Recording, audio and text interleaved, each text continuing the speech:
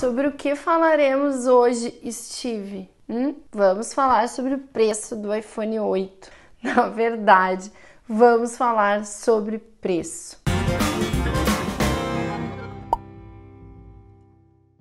Estou aqui toda gueixa junto com o Steve para falar que o quanto você cobra pelo seu produto, ou seja, o preço final do seu produto, pode ser um indicativo de percepção de valor pelo seu cliente. E eu vou explicar. Muita gente pensa equivocadamente: quanto mais barato o meu produto, mais ele vai vender. Mas não é bem assim, né, Steve? Tanto que o iPhone é um smartphone caríssimo e vende pra caramba e a gente vende a alma pro diabo e a gente prioriza comprar o iPhone. Por quê? Porque a nossa percepção de valor é maior quando a gente percebe que o produto é exclusivo, que o produto é seleto, ou seja, que o produto é para poucos bolsos. Pois é, a gente é assim. Aí vou perguntar: tem mulher aí me assistindo? Quantas vezes a gente não vai numa grife cara, compra uma roupa cara, bonita e fica se sentindo linda? Se a gente encontrasse aquela mesma roupa, bem parecida, num lugar bem baratinho, a gente não ia valorizar tanto. Então, isso acontece sempre? Não.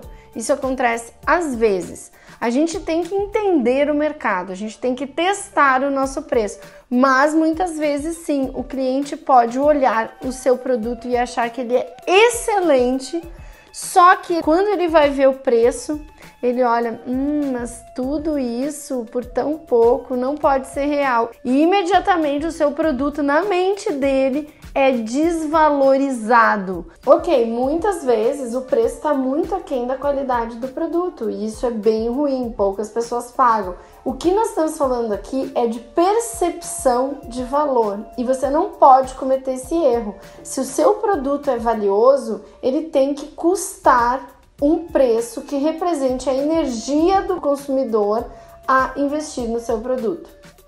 E nós temos aqui na Like vários exemplos de produtos que quando a gente aumentou o preço começou a vender mais. Não é estranho? Não, não é estranho. E isso acontece por quê? Porque quando a gente aumentou o preço do produto, a gente elevou também a percepção de valor do consumidor.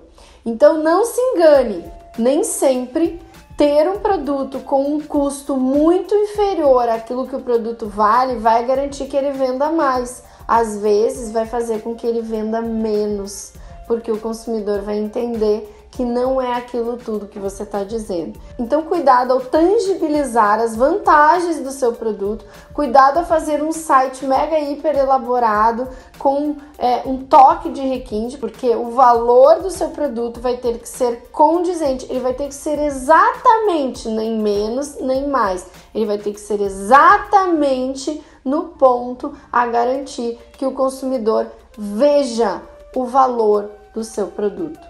Preço interfere na percepção de valor de produto.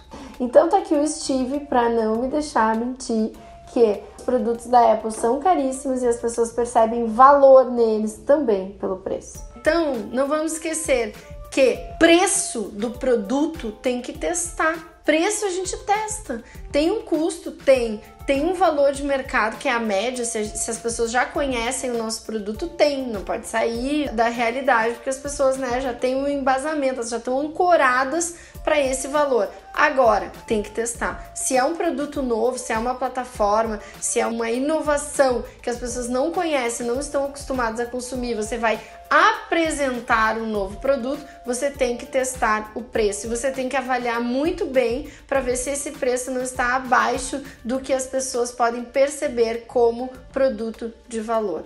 Valeu? Então, gostou desse vídeo? Te inscreve aqui no canal, ativa a sinetinha para receber os meus vídeos bissemanais direto em notificação no teu celular ou no teu e-mail. Valeu? Um beijo e até o próximo vídeo.